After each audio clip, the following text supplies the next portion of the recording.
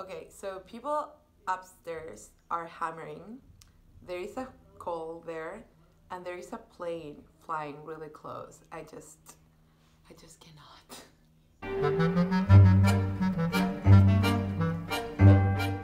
Hello everybody, I'm Roxie and this is Rock Me BS. Today I bring you a bit of a discussion video, something different, something I've wanted to do for the past few months, but I never made time for it and I thought now that we are wrapping up a wonderful Women in Translation month, I thought what better time than this. Today I want to talk to you about diverse reading and the role in translation in it. Before we get into it, I just want to say this is not a read and it's not a criticism. People get very defensive online. I've seen it. Probably not the people that watch me, the people that I tend to interact with online are very, first of all, chill but also very eclectic readers. A lot of them read more diversely than I do, quite honestly, so it's not something targeted. These are things that I've thought for a long time, but also they've been condensed and sort of reinforced by thousands of posts and uh, articles and websites that I've visited and Twitter feeds, etc. In any case, diverse reading. Earlier this year, with the whole Black Lives Matter protests that erupted not only in the US but all over the world, a lot of other related issues about systemic racism began to surface and in publishing particularly there were a lot of stuff about uh, advance payments and publishing and discrimination. But there was also a bit of an upside with the fact that a lot of people rushed to buy a lot of anti racist books, which I think is great. But then a lot of people began saying, hey, you can also read black authors for entertainment, not only education. They are also artists or entertainers. So check those out as well. And then people began to make all these read diversely lists. And then slowly that became not only black authors, but BIPOC people or people of color in general, which is, you know, most of the population except a very small number of people. And don't get me wrong, I think this is all amazing. I think these voices are very important because they are human voices, because they are stories, they are interesting stories, they are unique to them, but they can also be as universal as, you know, a German young romantic guy killing himself because of love. Hashtag relatable, I guess. And it's especially important to highlight these voices because they've been systemically and historically silenced. I get that. However, I have noticed that a lot of people when they rush towards diverse shelves tend to think about three types of diversity racial, gender, and sexuality. Again, very important aspects of one's identity. Not gonna deny that. But I would like to encourage people to consider diversity beyond that. For example, age. Have you noticed how a lot of books and media in general center around kind of the same pockets of ages? something to consider. Occupation, class, and perhaps most importantly, in my personal opinion, nationality. I don't think where you're born determines everything. However, I do think that nationality influences more the intersection of other factors than you think. So, for example, being gay in Canada is not the same as being gay in Brazil. There are whole complete different experiences. And the same goes with race and class. Things that because we get so much influence from English speaking country, case in point, this channel is in English and I read mostly books in English, even when they are translated from other languages. So I get it. In the global landscape, we are confronted with a lot of cultural patterns that stem from the US and the UK. That's inevitable. But I think sometimes there is an expectation that people will know everything that's going on in the US and the UK and that they understand how issues of class and race and um, even age or sexuality operate in these countries, but not the other way around. And it is very different. Class, for example, it's a whole different issue here in Chile compared to the US. Race, too, and I'm not saying we don't have similar problems, but they manifest in different ways because every country has a very specific history. Even when it is connected to other countries' history. If you see what I mean. In my particular case, I always see the same types of narratives being pushed forward in the US are a Latin American identity, which are immigration narratives or narratives of uh, Chicano literature. Again, I'm not saying these narratives aren't important. I'm just saying that that creates certain expectation or certain ideas of what, for example, being from Latin America is that are not necessarily realistic or not necessarily the whole picture.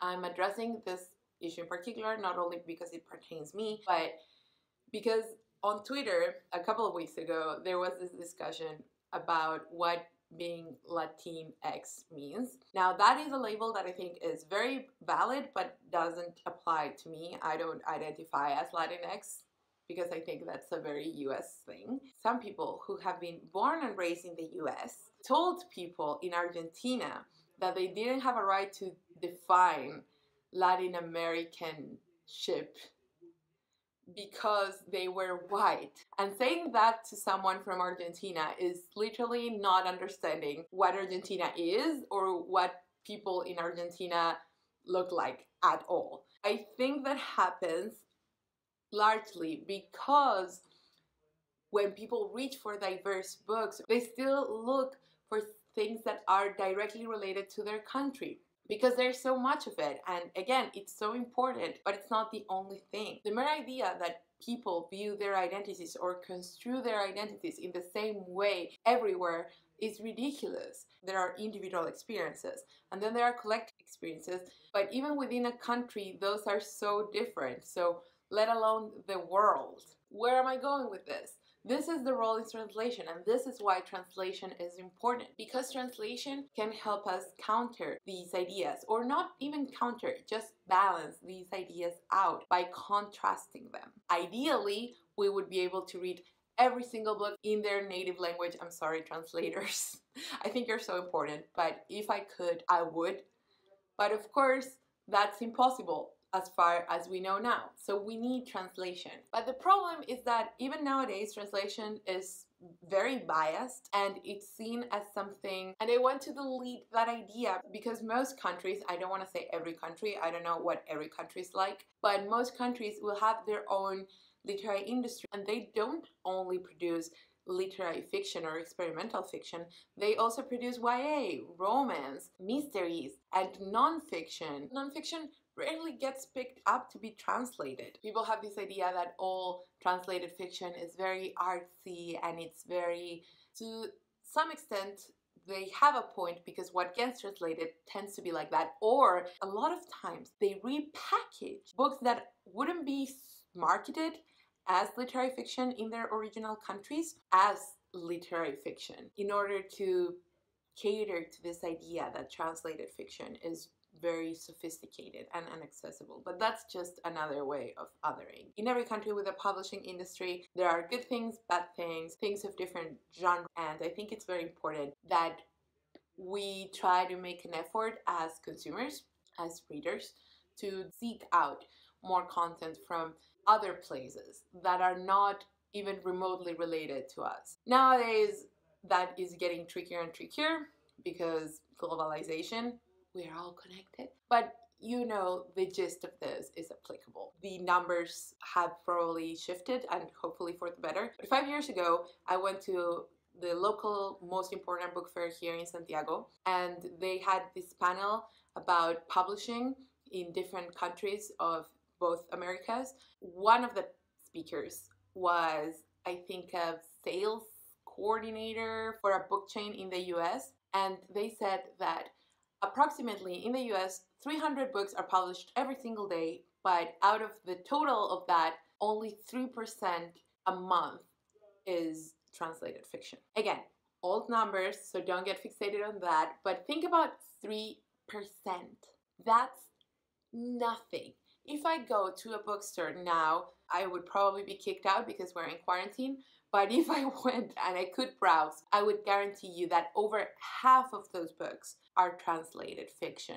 And I'm being generous with the half. And if I go to the movies, if the theater is showing 10 movies, eight of them will have been originally in English. And I'm not even joking. Now, that is a problem that concerns my country as well. It's a whole other issue about foreign influence. But that is just to illustrate how we all consume media and sometimes that normalizes certain identities over others. This is not new what I'm saying. What I'm saying is that reading diversely is not only a matter of race, it's not a matter of only gender, only sexuality. And one of the ways of accessing this is consuming more translated fiction. And eventually, hopefully, if more people become interested in translated fiction, publishers will become bolder and encouraged to take more risks RE fiction. For example, in Spain, there is a huge YA industry. They publish so much YA. Of course, I'm not gonna read it, but I think it's admirable. It would be so cool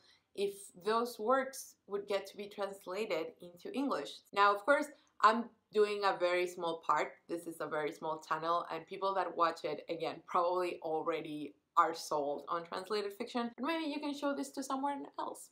I don't know.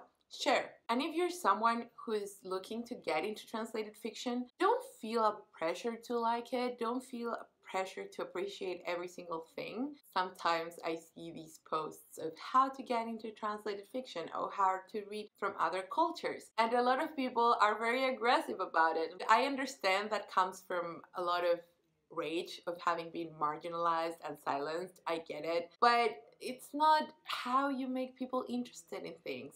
I think at least. I don't think you need to get to the most niche complex writing, especially considering that it's translated and a lot is lost and gained through translation. After all, let's not forget, languages are, yes, related, but they are also unique and they also encode a lot of information that's not in the words themselves or that is through interactions and through nuance and different layers of meaning. Just don't assume that because a lot of the same literature is translated from the same country, that is all the literature there is in that country. Although I think literature is a good indicator of cultural patterns, it's still art, it's not life. And you know, every individual experience is different. We all know this. Just enjoy it. Don't feel guilty if you don't like it, or don't feel discouraged if you don't understand everything. That's very okay. That's why I'm such a big proponent of rereading, for example. And yeah, don't feel like you have to do all this research beforehand. There are maybe some things that would be useful for you, but maybe learn them afterwards and reread the book afterwards. Don't be afraid of DNFing a book and then after you learn the context, going back to it. You all know I've been getting a lot into Russian literature lately, and that has sparked an interest in Russian history because through that I will probably understand the works better. But I don't feel like I need a PhD in Russian literature to enjoy it because after all we're all human and things that seem odd or behaviors that seem odd I take note of and I think, oh, maybe that's how they do it, or maybe it's also odd there. And then I read other uh, Russian literature and see how those people behave. We are all people and we go through similar stuff and we also go through unique stuff and that is reflected in literature i guess is my point. point and pick up more translated fiction that's that's it that's the video that's the tldr translated fiction is awesome and please consider that when you think about diversity and diverse reading. Originally, this video was going to end with my recommendations for you to read Chilean and Latin American literature.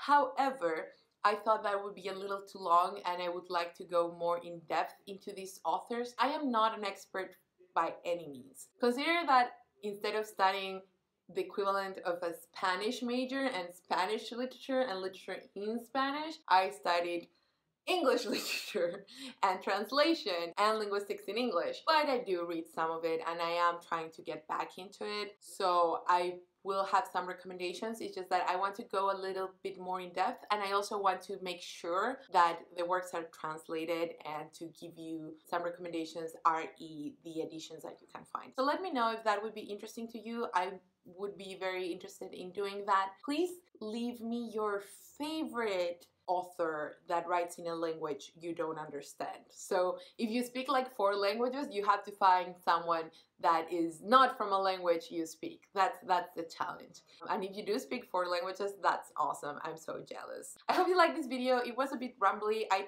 tried to make it as succinct as possible and to the point as possible. I don't know if I succeeded, but you know, read in translation, read diversely, broaden your idea of what diversity is. It's okay to notice how things are different, and it's also okay to notice how things are similar. That's basically life. We share some experiences, we have some pseudo unique experiences. A combination of those is our lives, and then we die. So read, read. That's a good way of spending your life. Okay, if you like this video, please like it, subscribe, and comment. I hope you enjoyed it, and see you next time.